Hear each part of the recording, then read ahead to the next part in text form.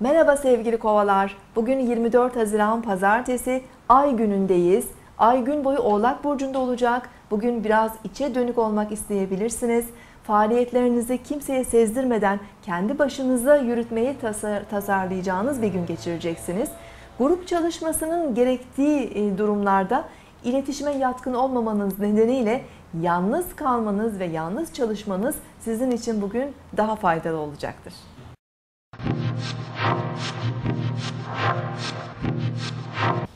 Burcunuzu dinlediniz. Bugün 24 Haziran Pazartesi Ay günündeyiz. Ay gün boyu Oğlak Burcu'nda ilerliyor ve güne ciddi, kararlı, sorumlu enerjiler veriyor. Daha çalışkan, kararlı ve disiplinli olarak işlerimizle ilgilenebileceğimiz bir gün içerisindeyiz. Ancak günün ilk e, saatlerinde, erken saatlerinde Ay Plüton'la kavuşacak. Uranüs'te de kare açı yapacak. E, Bu görünüm e, oldukça e, zorlayıcı ve sıkıntı verici bir görünüm aslında gökyüzünde. Çeşitli sorunlara, iletişim problemlerine neden olabilir. Ani olaylarla karşılaşabiliriz.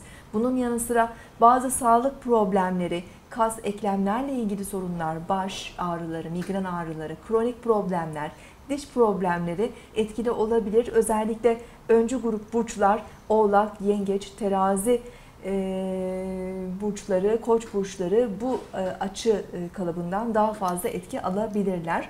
Akşam saatlerinde e, Ay Merkür karşıtlığı etkili olacak. Özellikle iletişimlerimizle ilgili olabilecek sıkıntılara karşı dikkatli olmalıyız.